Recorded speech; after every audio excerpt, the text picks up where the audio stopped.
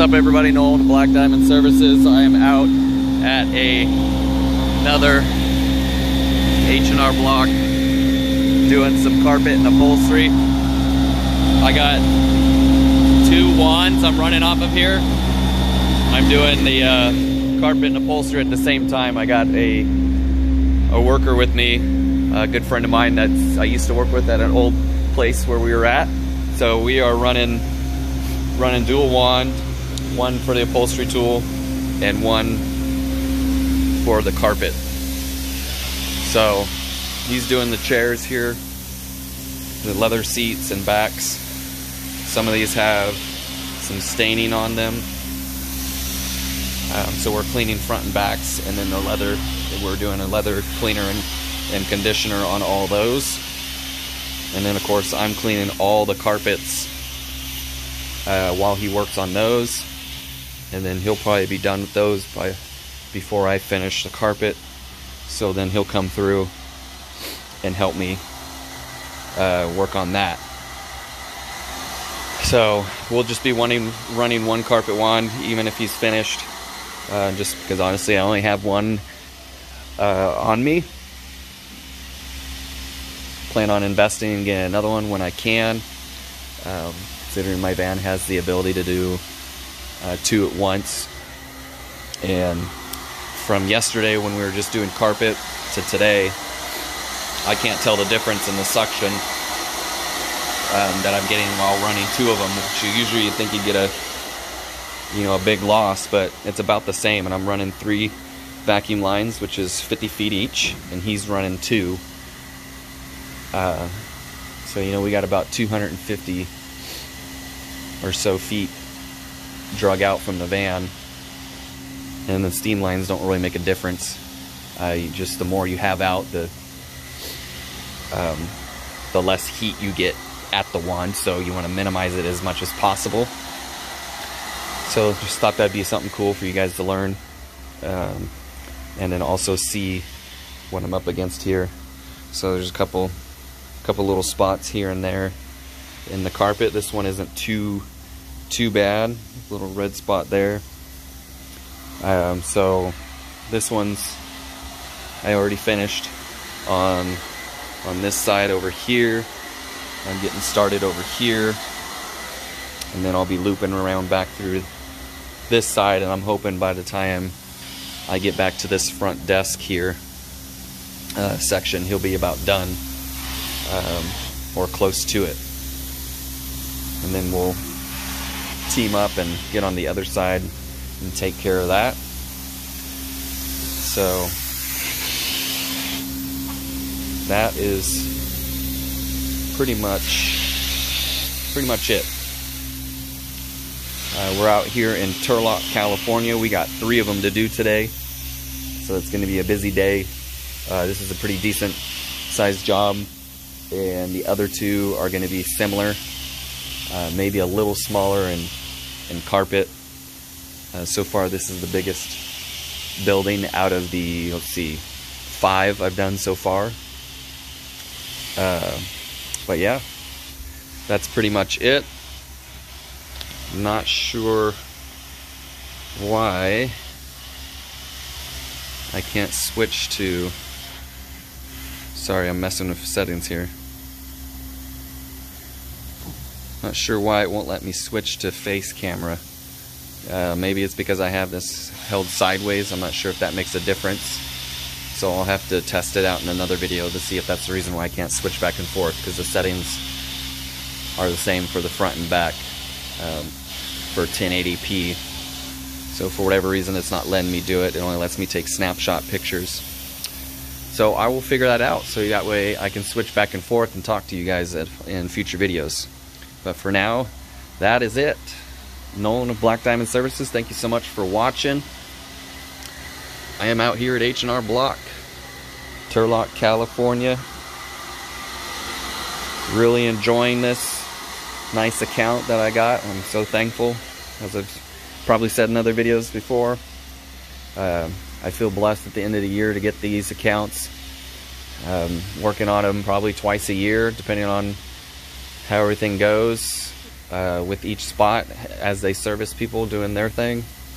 So that's something to be very thankful for this year. It's a great way to end the year. Um, always, always be doing what you can uh, at your place of work or if you're in business for small clients all the way up to the to the big ones because all it takes is for one person to take notice and then you can blow up and get a nice account like this. And that's all it was. One small residential job turned into 18 locations and commercial accounts. So I completely crushed my year end for getting some more commercial accounts unexpectedly without even going out and trying to get them myself. Um, so stay positive, do your best, treat people well. Um, you know, do things out of kindness when possible. You know, you just don't know when stuff is going to come back and and uh, more or less return the favor. You know, you gotta you gotta give to receive, and so sometimes that's what it takes. And one day it's going to hit you, and you're going to realize that all the times that you've been nice and did things for for people something's going to come back to you and you're just going to love it. So thank you guys for watching. Leave me a comment in the down below. Hit the subscribe if you watched all the way through. I definitely appreciate your time. I'm going to get back to some cleaning or heck I can always continue on from here and do a little bit in here as best I can one-handed while I got you guys. So I'm gonna do my my best to do a little bit so I can end this video with with a little bit of cleaning.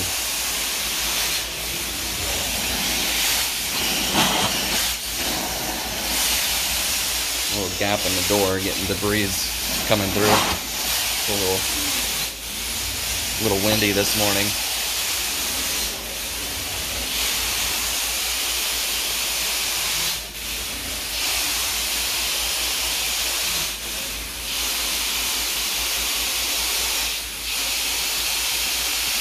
Stubborn spot right there.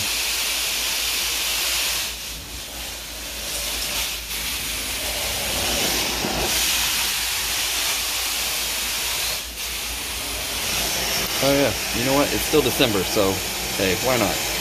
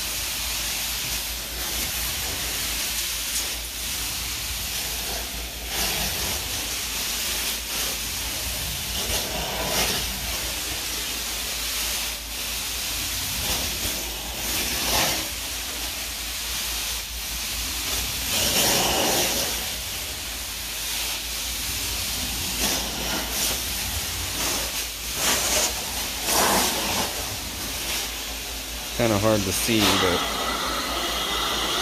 even though this looks like it's pretty fresh, kind of hide this carpet hides the dirt. I'm telling you. All of these so far that I've done. The other ones, last let's see, last three I did were more of a brown carpet. Uh, same same situation, carpet tiles but more brown. So I really had to pay attention to where I left off and watch my sight glass on the top of the wand there to see what's coming through. Because if you didn't pay attention to where you left off, you might you might miss a couple a foot or a couple inches and you know that can make a difference if it dries and and shows. So a lot of times once this with these cleaners, once the carpet's dry, it's a little bit brighter and it might make an appearance difference. So I got to pay attention to where I'm at or make sure that I'm overlapping a half foot or so from my previous previous run.